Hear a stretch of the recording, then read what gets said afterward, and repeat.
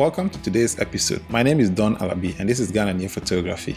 In today's episode, we'll look at changing the color of the sky easily in Capture One Pro. This is a shoot I did with a friend, Paulina from Sweden, during the Christmas holidays.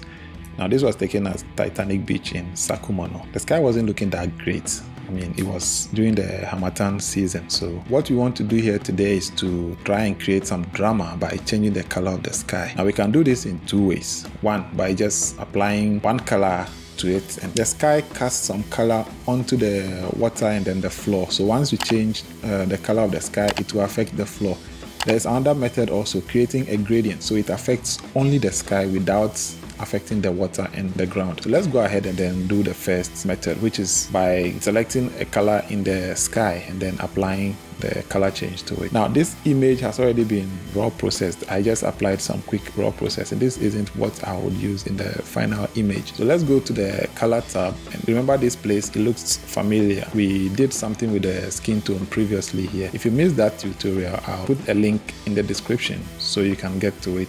And also this will be a good time for you to subscribe because you don't want to miss any other episode and hit the bell so you get notified anytime there's an upload.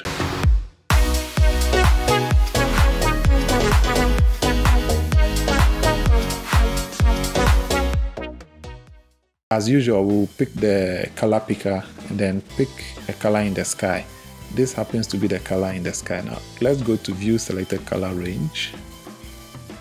And anything grayed out means it's outside the color range, so it won't be affected. So you see, our subject with her dress is out, and part of the sand is also out. But as I said earlier, there is a color cast on the beach and then on the water.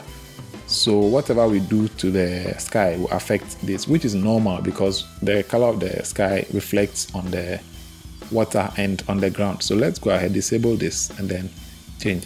The same things we have here, hue, saturation, and lightness, as in for the skin tone, but it works differently here. So let's move to the left. If you move to the left, you look on the color wheel here. If you move to the left, you are going towards green. If you move to the right, you are going towards magenta. So if we want to get maybe a red sky, what do we do? We have to create more points and then move. Each point goes to either plus 30 or minus 30. Capture One did this so that every change will look realistic, so that nothing goes out of proportion. So already this gives it the teal kind of look which most people will go for. But let's say you want to get crazy.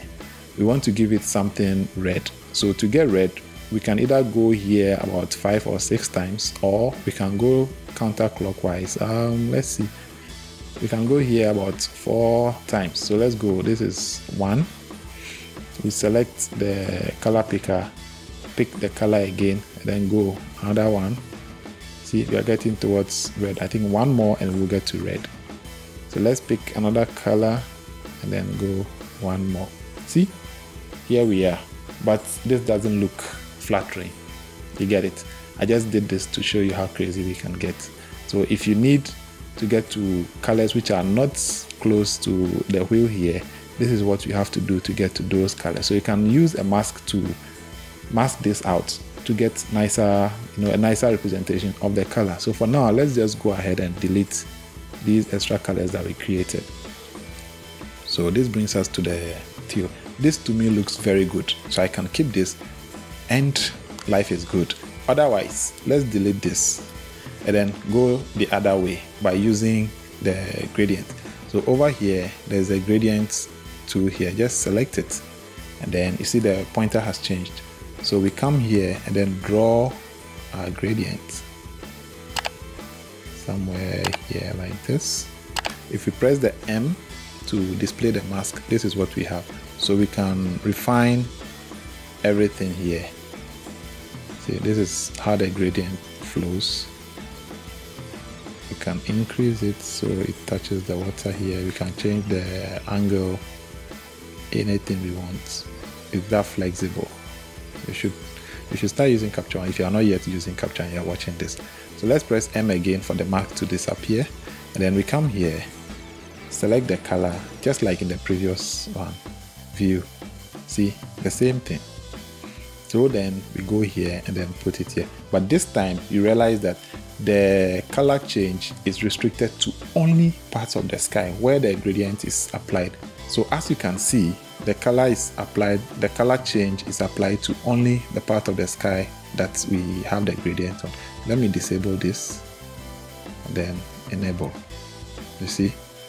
So if you want to change how it's spread, we just capture here and then if we move it all the way down, see it moves like a gradient. I hope you guys know what a gradient is. It moves like from top to bottom in that order. So if you wanted to come here more just like this.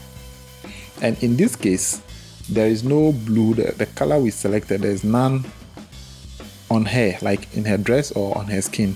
That's how come it hasn't affected her. Otherwise, if she was wearing blue or any color that's been selected here, then we would have to mask her out. Otherwise, that effect will affect her skin and then whatever dress she is wearing. I hope you guys understand. So these are the two ways to change the color of the sky in Capture One. I hope this has been informative for you and I'd like to thank you for watching.